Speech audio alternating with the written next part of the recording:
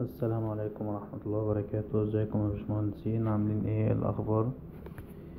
آه إن شاء الله هنتكلم في الفيديو ده برضه هنكمل مع بعض سلسلة ال structure analysis اتكلمنا قلنا إن الملازم دي خاصة بالباشمهندس أكرم مصطفى. جزاه الله كل خير.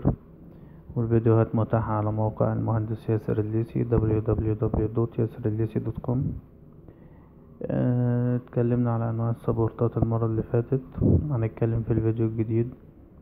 آه، بنتكلم إن هو بيقول إن هو هيستخدم مصطلح كمرة أو beam كتير. تمام؟ طيب واتفقنا إن إحنا لو عندنا جسم بيبقى ليه تلات حركات حركة في اتجاه X وحركة في اتجاه Y وحركة للدوران. طيب علشان أمنع حركة الجسم ده في اتجاه معين لازم احطله support طيب فهو هيتكلم قلنا هنستخدم مصطلح كمرة أو beam كتير. طيب إيه اللي هيمنع الكمرة من الحركة الأعمدة؟ طيب اذا العمود هو ال support بتاع الكمرة صح؟ يبقى الكمرة دي ال support بتاعها هو العمود. طيب بتعوض ليه دايما بتحط ال statical system بتاع الكمرة؟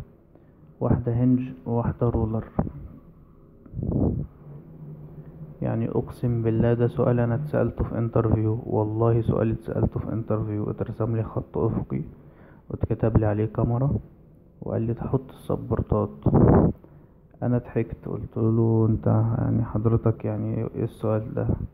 فقال لي حط قال لي حط السبورتات بتاعتك. تمام؟